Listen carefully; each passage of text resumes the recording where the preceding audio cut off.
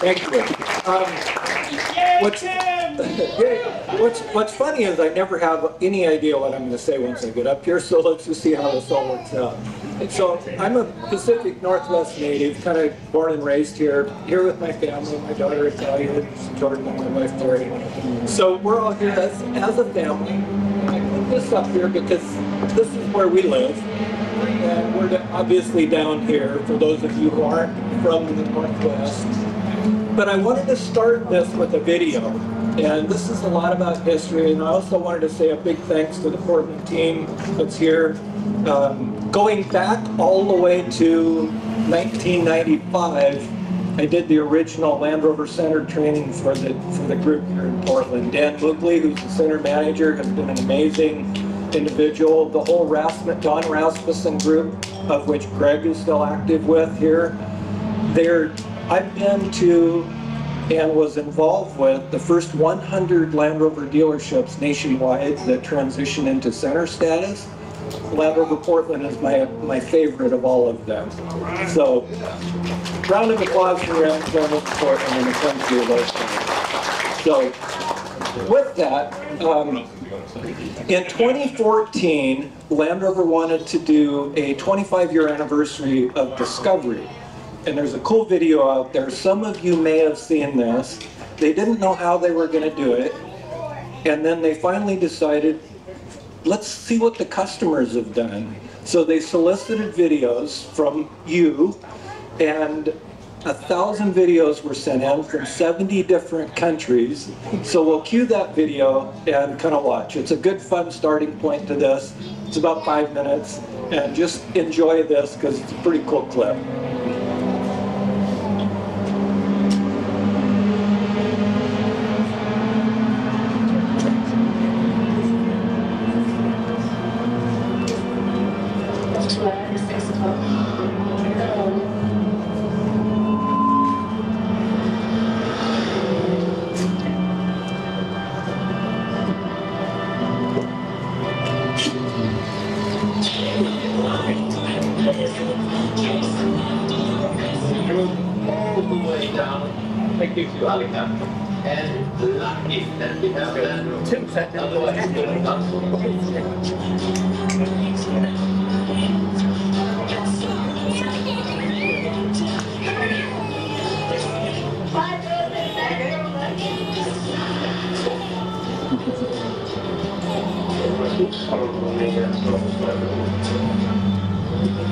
Out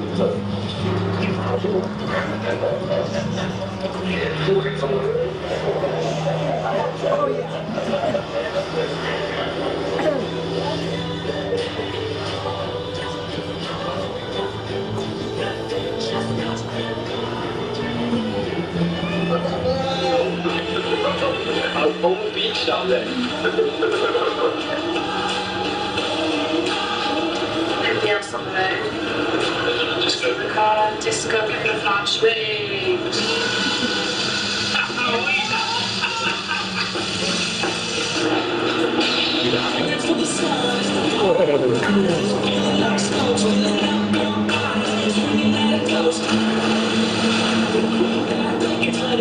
That's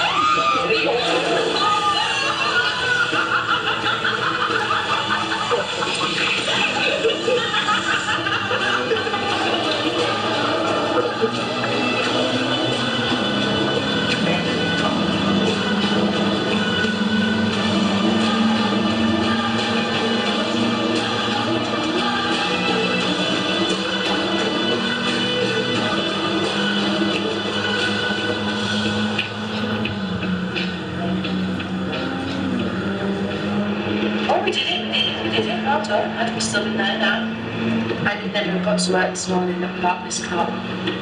Other than Dave. The distance. Just uh,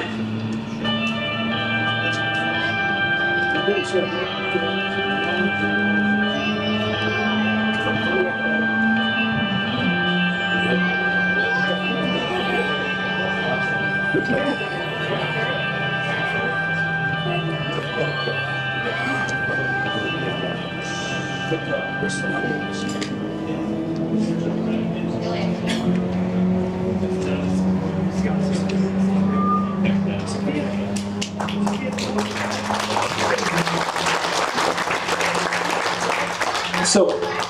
of a cool video, pretty much captures the spirit of adventure that Land Rover is all about, I think. So my journey actually started, and Mike's gonna um, click my see my click slide clicker here. So my journey actually started quite a long time ago. Um, this is my first Jaguar, and the next slide is my first Land Rover. But I was six years old, and they were little Matchbox cars. So I actually fell in love with the brand not long ago, and here I am still playing with the same two brands um, quite a while later. So go ahead and take that forward. So my first Land Rover that I actually ever owned was this vehicle, a 94 Defender. Technically it was a 93. It was one of the first five that Land Rover North America brought in when we brought Defender back in 1994. So these were used for pre-production as a prototype, and it was used for all the press stuff that we did and the vehicle launches and training and all of that. Owned that for a number of years, and then it transitioned to that vehicle, which is out here in the parking lot. Um, owned that for about 23 years, and it's been a pretty amazing and fun vehicle that I've really enjoyed over the years. Uh, this is my daughter here. Um, I got her started pretty young, and you can see the shirt shirt there on her on her back. So I remember in the Defender one time out off road, we were doing doing our thing, and she reaches up and she goes, run a little bit of a side tilt. Careful, Daddy. so uh, good story there. All right. So what I do with Jailrite, I've worked with Jaguar Land Rover now for 30 years. I've never been an employee. I've done it as, as a contract individual, and it's been an amazing journey. I've worked with a lot of clubs and groups and individuals and done all of those things. I still do quite a bit, but I'm trying to tiptoe out the door, if you will. Uh, so doing less and less as time goes on. So jump forward. Where I really started with the brand was I read a little sidebar like this in a magazine because I grew up on the Olympic Peninsula and adventure was kind of everything. We grew up out in the country and I love adventure, which is what the Land Rover brand's all about. Saw those little cars and the, the vehicles and the old Mutual of Omaha videos, Wild Kingdom, all of that stuff. And wanted to be part of that, and I responded to that and made the team. And so, ahead jump forward. U.S. trials in Colorado. From there, made the Final Four, and then went to, jump forward to Terzi d'Ambrone in Italy, and which is the center of Italy for the international trials. Each of 18 countries would send four people to the international trials, I felt like I just fell off a turnip truck showing up there because I'd never been to Italy, never been done any of this stuff, just a little country boy. And I was felt like it was really over my head, but an amazing experience. And go ahead and click. I ended up with a really good partner on the event. So as most of you know, we don't live life alone. And this is the four of us that made it to the event. And as we go forward here, click forward. I'm moving fast here, so we got a lot of stuff coming really quick. There's where we stayed in Italy for this. And some of the things that we did there, um, there were a lot of different competitions that went for, for 72 hours, pretty much straight around the clock. Just when you thought you would get to sleep, the next thing happened. And kind of a surprise with that. Um, there's my partner, Mike Hussey, and honestly, couldn't have had a better partner. He was a, a bigger part of the reason I'm here than the reason two of me wouldn't have done it, but two of Mike might have. So huge, huge part of our of our team. I have a lot of respect for Mike. I talked to him two days ago, so stayed in touch with him. 30 years later, we're still in touch and in contact. He lives in Middlebury, Vermont. Um, this is an interesting picture because there's the four of us training. After we did training in Colorado, we went to the UK. And if you look closely at the left side of this picture, um, it's a double exposure, and I could have cropped that out, but I just left it in just for fun. that wasn't created, it's just sort of random. I don't know why it got the double exposure, and I was looking at that, and thought, well, that's pretty cool. Just leave that in. Um, it's, so we went to Sabah, Malaysia. That's where my journey started. It was a, two-week circumnavigation of the island state of Sabah, uh, which is a pretty amazing journey. They always start with some sort of ceremony where you meet the dignitaries of the country that come out, and there that is. And I apologize for all the pictures of me in there. Mike tried to find pictures of me on the internet you won't find them. I've, I've really tried to maintain a low profile. This isn't something I like to do. I was asked to do this. Um, happy to share it with you, but it's, it's kind of not who I am. I love, I love the autonomy of just having fun with friends and family, going out and playing. So, um, still cool doing that. So, there's what we took with us. So all of that stuff fits in those Pelican cases for two weeks. That's all of your food, all of your supplies, fuel, water, everything you need for two weeks. Your tent, your sleeping, everything for four people. Because once you start on the journey, you're out there. Every now and then you might touch a little village or something, but that's about it. There's not time to resupply or a way to do that. Um, Peter McGillivray on the right, and John Phillips. So John Phillips was executive editor of Car and Driver. Peter McGillivray, photographer and involved with Four Wheeler magazine at the time. They were our participating journalists, and we had two really good journalists. So without that, a lot of the countries didn't have that good journalists to really help them. So that helped us a lot. There's our vehicle. And there's what it looks like. When you get out there in the jungle, this was a dream come true to me. The sidebar that I read was something like, if laying on your back in the middle of the jungle, in the middle of the night, while muddy and hot and tired sounds like fun to you, you should apply. so I, I, did. And a couple more shots of the, of the jungle. At night, the jungle, right before dark, boy, does the jungle ever come alive. It is. It's a pretty cool place. So you can see this bridge and the really cool construction on it. Um, the first three days, two to three days, it's kind of a blur there, we rebuilt 25 bridges or bypassed or got through them because when they do the pre-scout on an event like this, they do it a year ahead of time. So things happen in between. Plus they look for challenges anyway.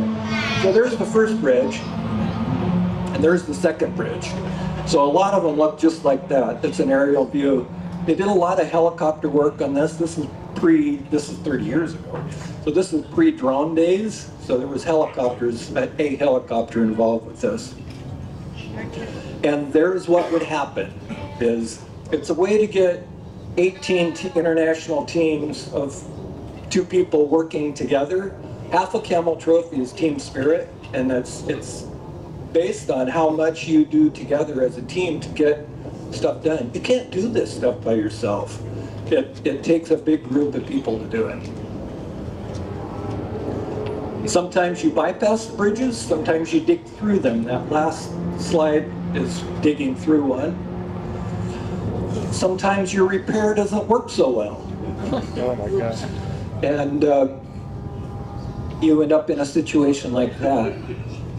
And there's limited things to recover from often, so you have to get creative. In this case, we had vehicle in front, we got a vehicle on the other end, pulled a tight cable and used that tight cable to pull sideways with, sort of like logging from that cable that was stretched between two vehicles. So lots of creative things that you can do. This was a long ways down. Luckily, this was uh, support vehicle that went over first.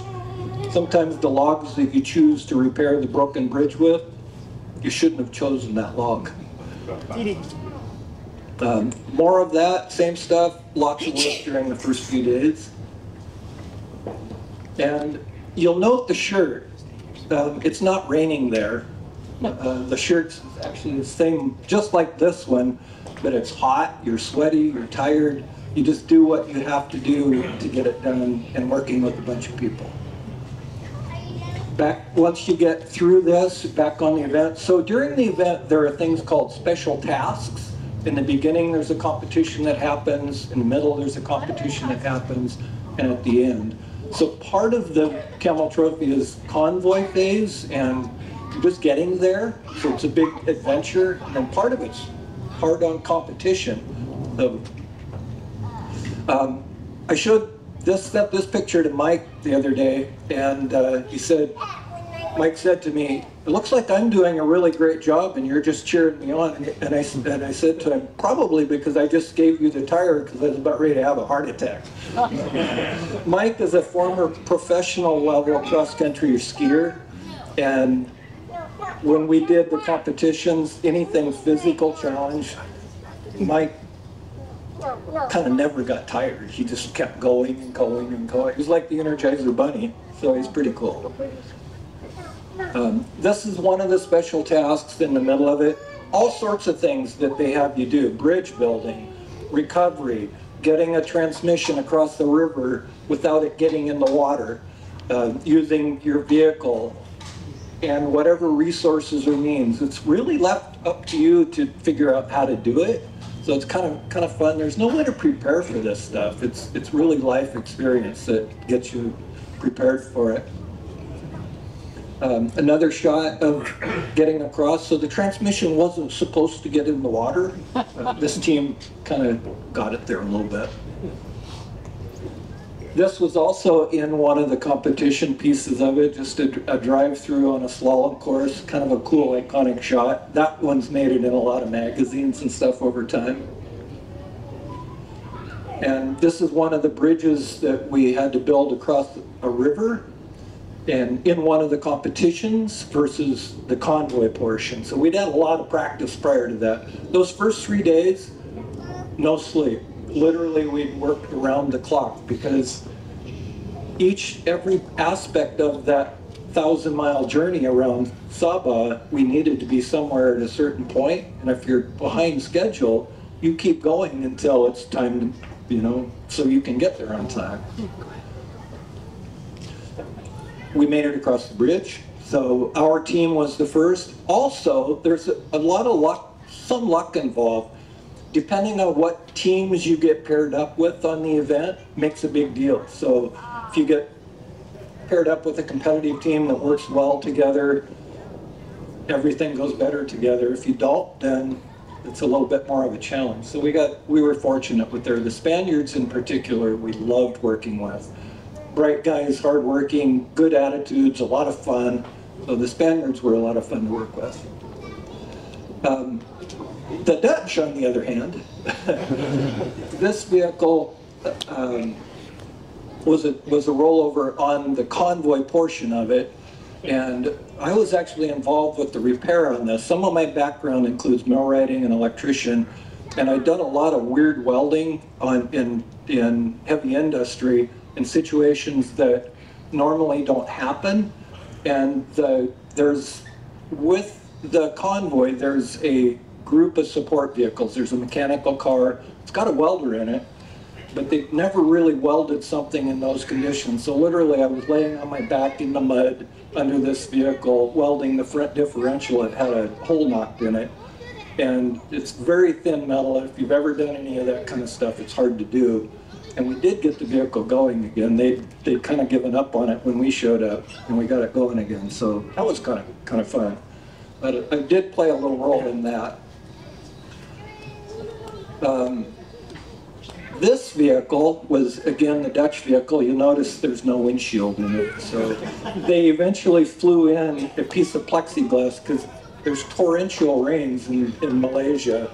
And they were wearing goggles and the rain was just literally pouring into the front of the vehicle with all of their stuff. So when they got the plexiglass windshield, they were pretty happy. We, in the middle of it, Camel Trophy always had done something to give something back to the country. So we went into what was called the Maliau Basin, hiked into it, about a day hike. It's a up into, it's called the Lost World there. And we hiked in, it hadn't been, it, no logging has happened there. And there's a lot of flora and fauna that really hadn't been mapped and, and uh, the whole area hadn't been really researched that much. So we built a research station there and we did that in 24 hours. They flew all of the materials in with a helicopter and all of the teams worked around the clock in shifts and built that the research station, which was kind of cool to give something back to the country. On the way out, It's not raining there either, so you can see kind of the, what happens with the humidity and the sweat and everything that happens. Remember, there's no showers with this, so you can imagine what the vehicle might start to smell like after a week or so of that. And there's how you get clean. If you find clean as being a relative term, if you look at the water there, it's uh, brown, but it's a lot better than the sweat. So any opportunity that you have. You also get to rivers that you have to cross, and there are a couple of raft units that travel with the whole convoy. And they're pretty good size. It takes a while to assemble them. All of the, the teams work together to assemble them. And then you put a vehicle on them and off you go if everything goes according to plan. It did, by the way, so that was good. Um, But you can see all the sand ladders that are on the vehicle. They were all taken off of all the competitor vehicles, so we can literally sort of do a complete cover of the riverbank going down to it, because it's just soft mud in a river like that. And that's what it looks like once you get a car on top on them. Pretty fun crossing in that. Who knew you could float a Land Rover across a river, but it's pretty fun to do that. So this picture, Mike is a geologist by trade, and we saw this feature in Sabah, and of course we had to have a little bit of fun with this.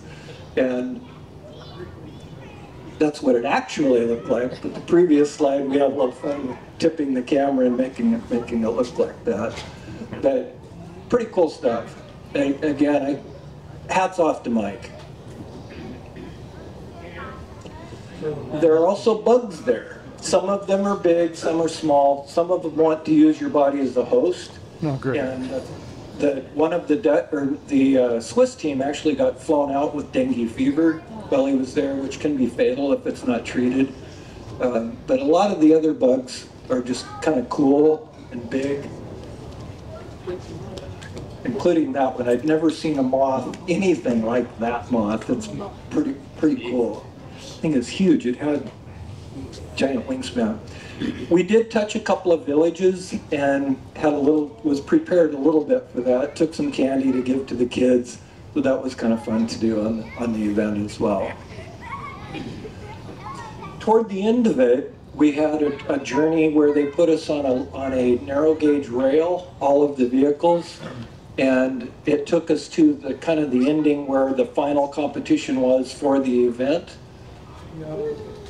And starting, we worked with the Spaniards on this one, getting our vehicle back up com- with competing. So two teams would work together, so teams of two, so four people, and we were split up. And luckily, again, we got the Spaniards, and we we smoked everybody on this event. It was pretty cool. They were awesome guys to work with.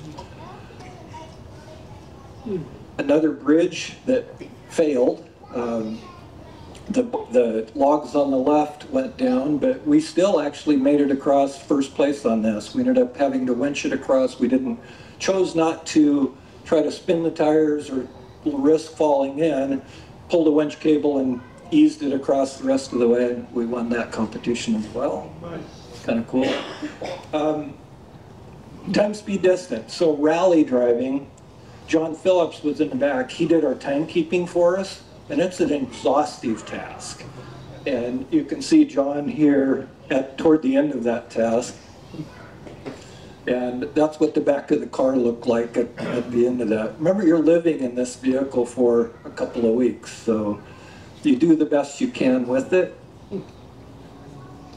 And you take any every opportunity you can to kind of dry things out uh, because it rains a lot. Sometimes it's rained when it's time to put all your gear away, so it's soaking wet. You're up at four or five in the morning, and all your gear's soaking wet. My daughter Jordan and Natalia um, do a lot of tent camping, and sometimes you have to put the tent away wet. And you know this is. Probably a lot of you have done that too. I've seen some dormobiles out here and fun stuff. John was pretty tired by then. This slide is in there. You'll wonder why that's there. This was actually staged. This is in New York City on a, on a building, and this is not how the steelworkers ate their lunch, but there were photographers there do, capturing the building during this time, and they staged this photo just like this photo was staged. So we're driving along, we're toward the end of the event. Mike and I are nice and dry, we're comfortable. And Peter says, Peter's the photographer from Four Wheeler, and he says, Stop the car. We're going, What? And he says, You have to run through this because I want to get a shot of this. So from being nice and dry and comfortable to running through this so Peter could take this photo, that was staged as well. So if you ever see that photo, it's not real. Well, the photo's real, but the circumstances behind it weren't. So, um, at the end of the event, also, kudos to, to John and, uh, Peter McGillivray. John had a great sense of humor. He's, I don't know if any of you have ever read his articles over the year, years in Car and Driver, but he's always got a great sense of humor. As he did at the end, Mike's duct taping him back together again. He's got his clothes all ripped. You'll see duct tape all over his shirt. Uh, having a little bit of fun with that. Uh, and Mike's basically walking away going, so fun stuff there. There's Mike and I at the end of it, tired, probably a little bit thinner than we were when we started two weeks ago. And the You Made It presentation when we finally made it out to the end. And then Michael and I, again, got pretty lucky. We won the event, and um, we're the only U.S. team to have done that. Tom Collins, who basically led the whole U.S. team, lost it on a coin toss. They had a tie, and they did a coin toss to determine the winner. So in reality, we're not the only team to have ever won. I'd say Tom Collins and Tom and Don Floyd were too. So Tom did a great job. The whole U.S. team did a great job with training, and a lot of lot of um, respect and admiration for, that group of people. So um, there's the very end of it. Who knew where it could lead to? I've got a few slides I want to show from the next year. Just real quick, I'll run through. 'cause I know you don't want to hear me ramble on.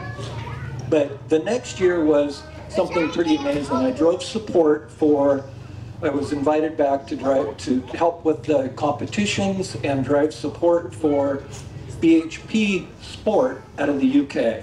So I drove the video car, which is a whole different experience than competing. And so, oh, that was the, the- kind of the end of that. It's the, uh, this is Peter McGillivray's article, and I like what Michael said in here. Uh, if you have to ask, you'll never understand. Why would you want to do that? So I like what Mike said there. Yeah. So the next year, and I'll make this quick, but there's some cool images in here. Um, this is Iguazu Falls in Argentina, And it's not the tallest falls in the world, but it's one of the most spectacular ones. What you can't see here is it actually wraps around this way quite a ways also. And those are the, that's my video crew that I, that I drove with. Simon, Murray, and Alan. Simon is on the left, Murray's the sound guy, and Alan's the videographer, and Simon was the, the producer, if you will, for the, for the team. And so I drove the vehicle for these guys. They helped when they wanted to or could, but an amazing experience. Some of the stuff that I'll share here. So this is stuff that didn't, don't really make the videos that you might see out there. There's a lot of stuff on YouTube, if anybody ever wants to, to dig in a little bit, but starting out in Paraguay, so it's that we started the journey and went out through the flats. This is how people were still living in 1993 out in Paraguay, and they still are today. A lot of that's happening. And just going out into the tracks toward Argentina, it's flat and muddy, and you start to see a little bit of that. Um, some of the camel trophies experienced a lot more mud than this, where 24 hours they'd make maybe a kilometer in 24 hours of all the teams lunching and working together, but we got through this pretty quickly. You can see that, that again, the mud there. From there, we stopped and did a research station at about 8,000 feet, going up into crossing over the border out of Paraguay into, after crossing the border from Paraguay into Argentina. So sort of in the middle of Argentina, climbing up to about 18 or 8,000 feet. We stopped, the teams worked 24 to 36 hours overnight in shifts again and built another research station in that area. It also was good to acclimate to altitude because 8,000 feet is a good mountain climbing stopover point to let yourself acclimate a bit because we ended up going quite a bit higher than that.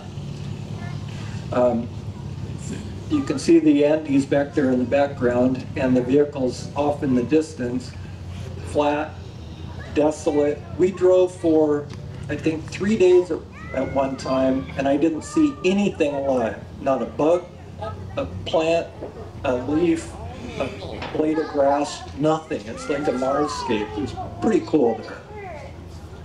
That is not water back there. That's a mirage. You always hear about the mirages that out in the desert.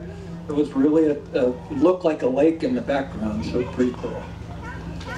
That's the road going up to the peak that, that I mentioned about getting up to altitude, because the pass that we went through um, was at 4895 meters. That's a little over 16,000 feet.